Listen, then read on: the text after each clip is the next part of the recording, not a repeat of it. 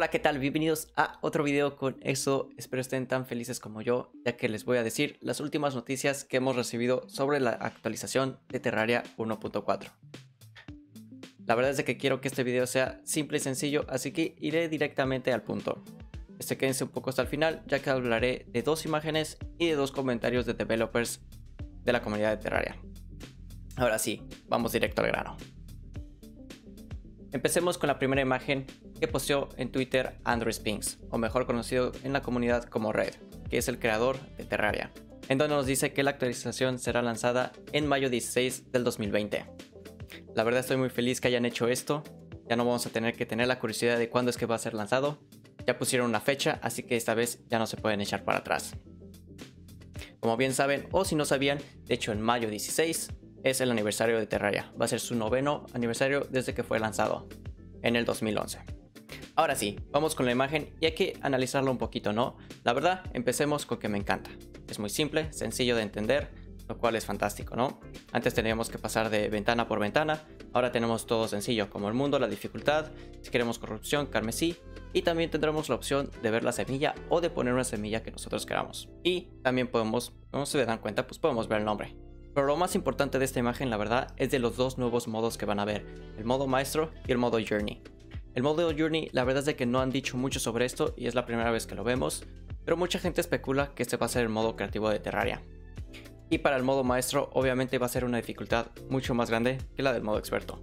La verdad soy un jugador al que le encanta la dificultad, así que no puedo esperar probar el modo maestro con ustedes. Ahora sí, vamos con la segunda imagen, en donde podemos ver una parte del mundo de la actualización de la 1.4. La verdad es de que me quedo sin palabras, los árboles se ven tan bien detallados a comparación de cómo los teníamos. El contraste de colores me encanta. La verdad, el detalle en el agua, en los troncos que están tirados en la tierra, la verdad es que esto me encanta demasiado. Y podemos ver tanto detalle y tanto contenido en solo una imagen, en donde solo podemos ver árboles y un lago. Imagínense todo el contenido y todo el esfuerzo que le pusieron al resto del juego. La verdad es que no puedo esperar a entrar a un mundo como ese. Ahora hablemos de dos comentarios que Cenex, otro developer muy conocido en Terraria, nos compartió. El primero es sobre la actualización sobre el móvil. Este dice el comentario es que muy probablemente el celular será la siguiente plataforma en donde la actualización 1.4 será lanzada. La verdad es que todavía no sabemos exactamente cuándo saldrá para el celular y para las consolas, pero definitivamente esto ayuda un poco para la comunidad de celular. Pero tranquilos, los mantendré actualizados con cualquier cosa sobre consolas o celular. Y el segundo comentario que nos puso es de que el minijuego de golf, la verdad es muy divertido.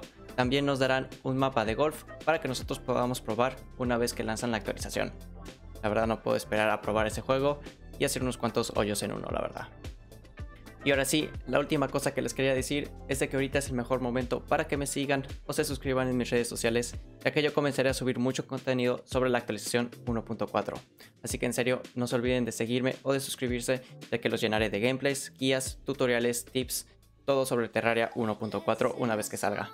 Eso es todo lo que tenía que decir, y ahora sí, sin nada más que decir chicos, hasta la próxima.